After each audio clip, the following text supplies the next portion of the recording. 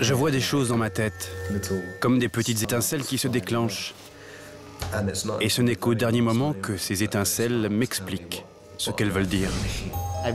Je n'ai jamais rencontré une telle personne. Il m'a complètement ébahi. Pour les scientifiques, cet homme est une mine d'or, un extraordinaire sujet d'étude. Ceci pourrait être le pivot qui fait naître un nouveau domaine de recherche. Pourquoi un tel enthousiasme? C'est un génie. C'est pas humain. Ce génie, c'est Daniel Tammet. On l'appelle l'homme ordinateur, aussi rapide et précis qu'une calculatrice. Disons 13 divisé par 97. 0,134 02 06. Aussi loin que peut aller ma calculette. Rencontre avec celui qui repousse les limites de la science. L'université d'Oxford en Grande-Bretagne. Ce jour-là, Daniel Tammet s'apprête à réaliser un incroyable tour de force. Un exploit destiné à prouver que sa mémoire surpasse de très loin celle des hommes ordinaires. Ce que je veux faire, c'est décliner le nombre pi jusqu'à 22 500 chiffres après la virgule et le dire à haute voix en présence de vérificateurs chargés de contrôler l'exactitude de ces chiffres, du début jusqu'à la fin. Pi est la circonférence d'un cercle divisé par son diamètre. C'est un nombre infini dont les décimales ne se répètent jamais. Daniel affirme qu'il peut restituer les premiers 22 500 chiffres après la virgule sans se tromper. Mais est-il vraiment capable d'un tel exploit? L'exercice démarre. Sur leurs feuilles, des étudiants vérifient les chiffres au fur et à mesure qu'ils les donnent. Les nombres se succèdent, sans aucune hésitation, comme une longue litanie.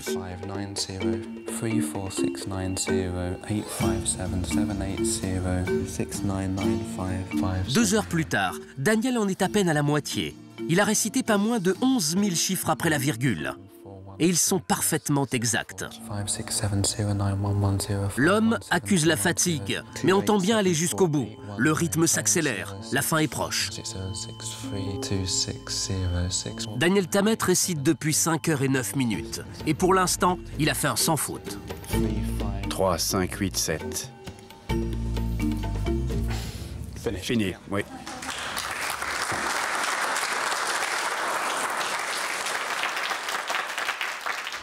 Il est brillant, c'est ahurissant. Brillant, en effet. Mais quel est donc le secret de Daniel? Est-il possible qu'il ait appris tous ces chiffres par cœur et qu'il ne fasse que les restituer? Visiblement, l'explication est ailleurs. Daniel Tammet serait doté d'un pouvoir qui n'appartient qu'à lui. Né dans une famille très modeste et très nombreuse, le petit garçon manie les chiffres à la perfection dès l'âge de 4 ans. Mais il n'est pas en bonne santé. Quand j'étais très jeune, j'ai été sujet à de graves crises qui ont été diagnostiquées par les médecins comme des crises d'épilepsie.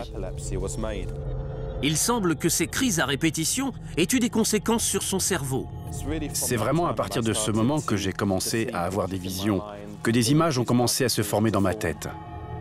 La mère de Daniel se souvient que l'enfant, le premier de la famille, était très difficile dès le début. Si vous aviez eu un petit garçon comme Daniel, je pense que vous auriez décidé de ne pas en faire d'autres, car il n'arrêtait pas de pleurer. Jusqu'à l'âge de deux ans, il était vraiment un enfant difficile. Il pleurait sans cesse. Avec mon mari, nous avons tout essayé, y compris de le bercer dans de grands draps. Son père tenait une extrémité de la couverture et moi, je tenais l'autre extrémité. Et nous en sommes arrivés là parce que nous ne savions plus quoi faire. C'était le seul moyen pour le calmer. À l'école primaire, Daniel se montre différent des copains de son âge, notamment pendant les récréations. J'aimais bien compter les cailloux dans la cour. Je me souviens de ça. Je comptais les chiffres de la marelle. Il n'y avait que ça qui m'intéressait. C'est tout ce que j'avais envie de faire. Daniel aurait pu s'enfermer dans son mutisme pour le restant de ses jours. Sans en connaître les raisons, il est pourtant devenu un être sociable, plutôt à l'aise avec les autres, et capable de décrire dans les détails sa structure mentale. Avec les chiffres, j'entretiens une relation très visuelle. Tout est question de couleur, de texture et de forme. Les séquences de chiffres dessinent des paysages dans ma tête. Le chiffre 2 est comme un mouvement, de droite à gauche, un mouvement flou. Le 5 est comme un tonnerre, ou le bruit d'une vague contre les rochers. Daniel affirme qu'il est capable de visualiser jusqu'à 10 000 nombres en leur attribuant une forme ou une image spécifique. Les scientifiques ont donné un nom à ce phénomène neurologique, la synesthésie. Cette particularité permet à son cerveau de combiner plusieurs activités distinctes, comme manier des chiffres ou visualiser des couleurs. Julien Hacher, chercheur à l'université de Cambridge, connaît bien la synesthésie pour y être sujet lui-même, mais rien à voir avec Daniel. La plupart des synesthètes voient des choses abstraites. Par exemple, moi, je vois des espèces de flammes colorées, une sorte de mouvement scintillant, un mouvement fluide, mais Daniel voit des formes très concrètes, ce qui est très inhabituel. Souvenez-vous du nombre pi et de ses 22 500 décimales. Dans la tête de Daniel, pi n'est pas une série de chiffres, mais un paysage avec ses formes et ses couleurs, bien plus facile à mémoriser. La synesthésie serait donc la clé de l'extraordinaire pouvoir de mémorisation de Daniel. Peut-elle aussi expliquer ses dons pour les mathématiques? C'est en Californie qu'il trouvera peut-être la réponse, au centre d'études sur le cerveau situé à San Diego. Mais avant d'atteindre la Californie, Daniel va faire étape dans quelques villes américaines et à chaque fois, il mettra ses compétences à l'épreuve. Première destination, New York. Il a décidé de se lancer un défi. Il propose à des joueurs d'échecs rencontrés dans la rue un pari peu ordinaire. En cinq minutes, il devra mémoriser l'échiquier et replacer de tête toutes les pièces du jeu. Chaque erreur lui coûtera 10 dollars.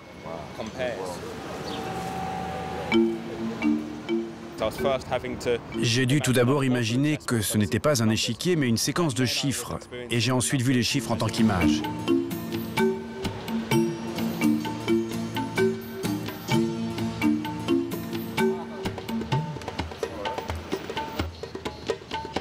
Les cinq minutes sont écoulées. D'accord, c'est le mieux que je puisse faire. Autour de la table, la pression monte. Reste à vérifier l'emplacement des pièces. Ceux qui ont relevé le défi comprennent très vite qu'ils ne vont pas gagner beaucoup d'argent avec Daniel. J'ai presque tout su replacer. Je pense qu'il n'y a qu'une seule pièce que je n'ai pas remise dans l'échiquier. Paris réussi pour Daniel. Sa super mémoire ne l'a pas trahi. Mais pour sa deuxième étape, Salt Lake City, il va rencontrer un challenger de poids, Kim Peek, un véritable prodige, l'homme qui a inspiré le personnage de Rain Man, cet autiste surdoué joué par Dustin Hoffman. À plus de 50 ans, Kim Peek est incapable de se déplacer seul. Son père l'accompagne toujours depuis qu'il est tout petit.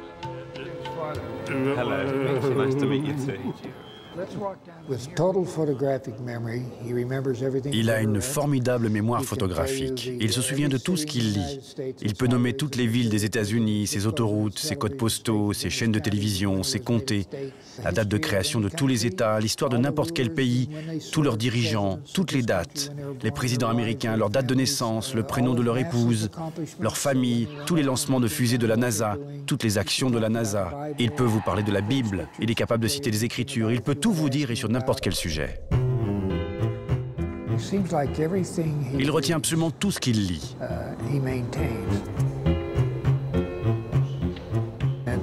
Dès l'âge de 9 mois, le psychiatre nous a dit qu'il souffrait d'un très grave retard mental et qu'il ne serait jamais capable d'apprendre quoi que ce soit. Il nous a conseillé de le placer dans une institution et de l'oublier. Un psychiatre totalement à côté de la plaque. À 4 ans, Kim Peek lit des encyclopédies entières et à 14 ans, il a déjà passé le bac. Aujourd'hui, il se souvient des 12 000 ouvrages dans leur intégralité. Vous et moi, on peut lire une page en 3 minutes. Et lui, il lui faut à peine 8 à 10 secondes. Il lit la page de gauche avec l'œil gauche et celle de droite avec l'œil droit. Et il mémorise tout ça à 98% minimum. Légèrement intimidé par le personnage, Daniel ne résiste pas à l'envie de tester la mémoire encyclopédique de Kim Peek. Kim, ma date de naissance est le 31 janvier 1979. C'était un mercredi, et cette année ce sera un samedi. Et en 2044, ce sera un dimanche. En quelle année la reine Victoria est devenue reine? 1837 à 1901. Kim, si Winston Churchill était en vie aujourd'hui, quel âge aurait-il? 130 ans. Et son anniversaire serait quel jour de la semaine cette année? Ce serait un mardi, le dernier jour de novembre.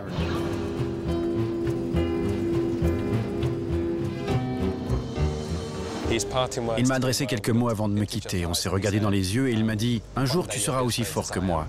C'est un compliment magnifique et pour moi un objectif à atteindre. Après cette rencontre, Daniel Tammet se sent plein d'énergie. Il veut à présent relever un nouveau défi battre la banque au blackjack. Je n'ai jamais mis les pieds dans un casino. Il m'arrive de jouer avec des amis, mais personne n'aime jouer avec moi. Mais très vite, il comprend que la partie ne sera pas facile. C'est vraiment très compliqué de se concentrer à cause des lumières brillantes, du bruit de l'atmosphère. J'étais à la fois tendu et très excité. Daniel joue seul contre la banque. Soit il s'approche du 21, soit il le dépasse et perd sa mise initiale. Le premier tour est un désastre. Un à un, les jetons disparaissent. Daniel décide alors d'oublier la pure stratégie du jeu. J'ai décidé alors de me fier à mon intuition et aux images qui coulaient naturellement dans ma tête. Soudain, il n'est plus question de chiffres. Les formes et les couleurs qui peuplent son univers mental volent à son secours. Ce déclic permet à Daniel de prendre l'avantage face à la banque.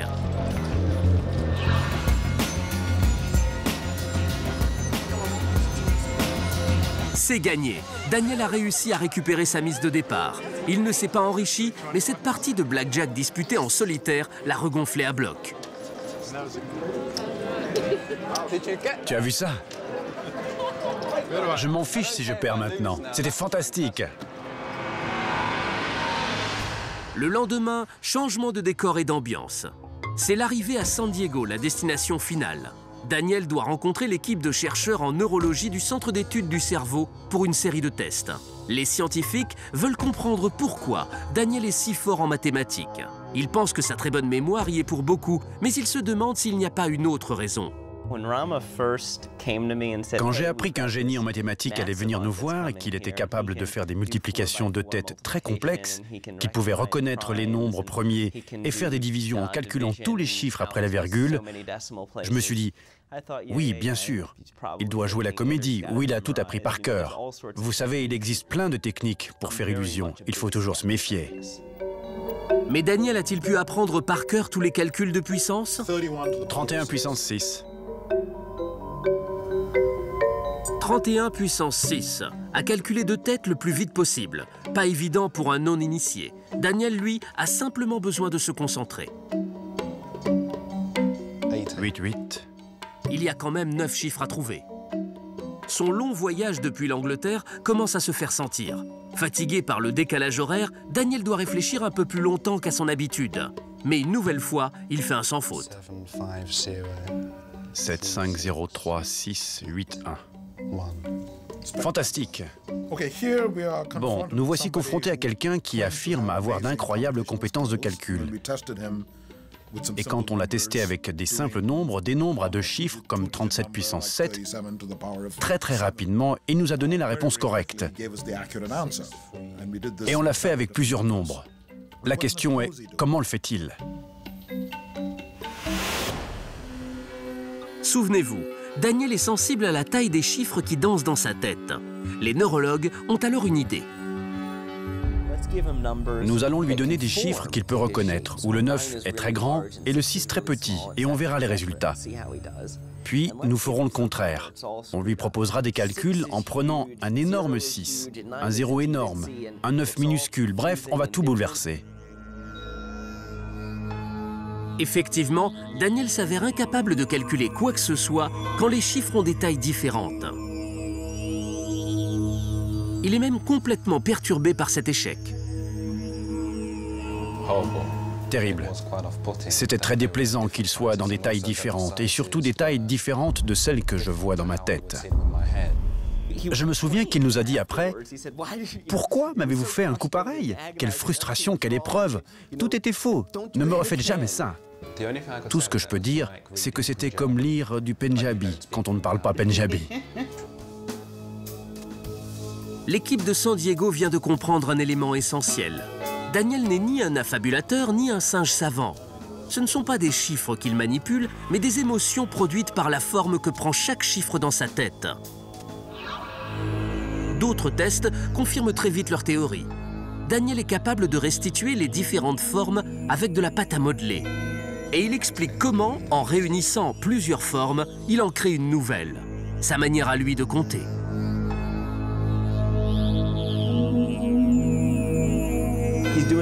Il fait des mathématiques, mais il ne le sait même pas. C'est prodigieux. Ces découvertes vont certainement nous ouvrir un nouveau domaine de recherche.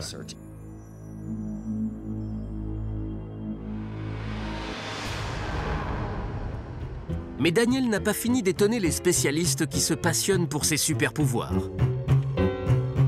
Après les mathématiques, il va nous prouver un autre don incroyable, pour les langues étrangères.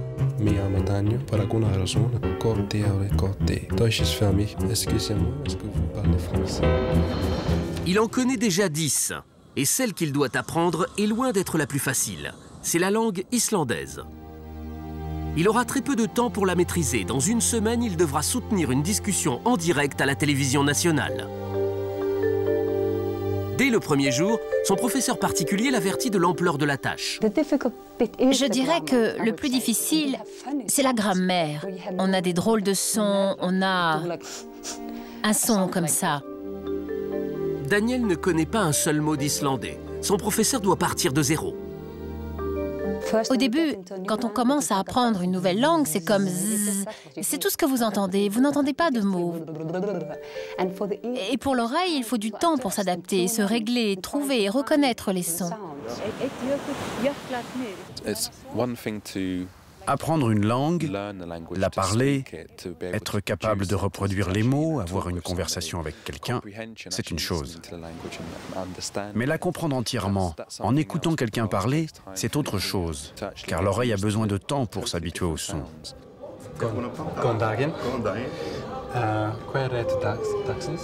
Mais à un jour de la date butoir, l'enseignante doit reconnaître que son élève n'est pas comme les autres. Daniel apprend vite, et même très vite. Il était comme un aspirateur. Il absorbait les mots et les mettait dans son cerveau. Petit à petit, je commence à être au point. J'entends de mieux en mieux les mots. Je comprends de mieux en mieux cette langue. Mais sera-t-il capable de parler en direct devant 250 000 téléspectateurs? Je ne sais pas du tout ce qu'il se passera demain soir. S'il est trop stressé, il ne pourra rien faire.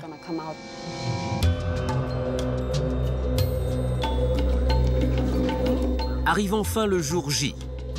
Dernier réglage avec le professeur, Daniel est à quelques minutes du direct.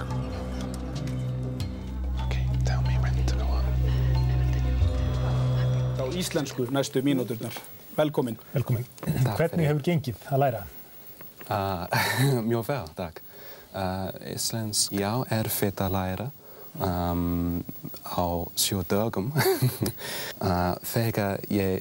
Íslendinga. Mais comment fait-il pour être aussi à l'aise dans une langue qu'il ne connaissait pas une semaine auparavant?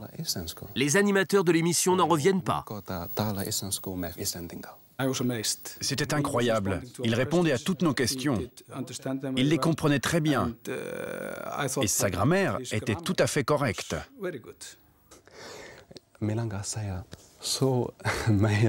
Nous sommes donc très fiers de constater que quelqu'un puisse parler notre langue en seulement une semaine. C'est extraordinaire. Daniel est vraiment à part. Je dirais que c'est un génie. Personnellement, je n'ai jamais été en contact avec un élève aussi doué. Il est au-dessus de tous. Ce n'est pas humain. Si Daniel ne vient pas d'une autre planète, il ne ressemble à personne sur Terre. À quelques exceptions près.